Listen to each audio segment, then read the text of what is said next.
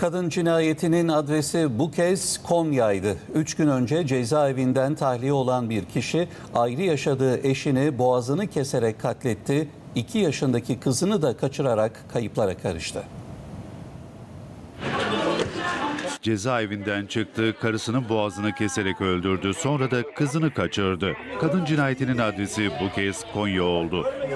Üç gün önce cezaevinden tahliye olan Ramazan Menek, ayrı yaşadığı eşi Tuğba Menek'in evine geldi. Çıkan tartışmanın ardından eşi Tuğba Menek'e saldıran katil zanlısı, banyoya kaçan talihsiz kadını yakalayıp boğazını keserek öldürdü. Kadının cesedini yatak odasına taşıyan zanlı 2 yaşındaki kızını da alarak evden kaçtı. Komşuların ihbarı üzerine olay yerine gelen polis ekipleri Tuğba Menek'in cansız bedenini yatak odasında kanlar içerisinde yatarken buldu. Olayı duyarak eve gelen Tuğba Menek'in yakınları sinir krizi geçirdi.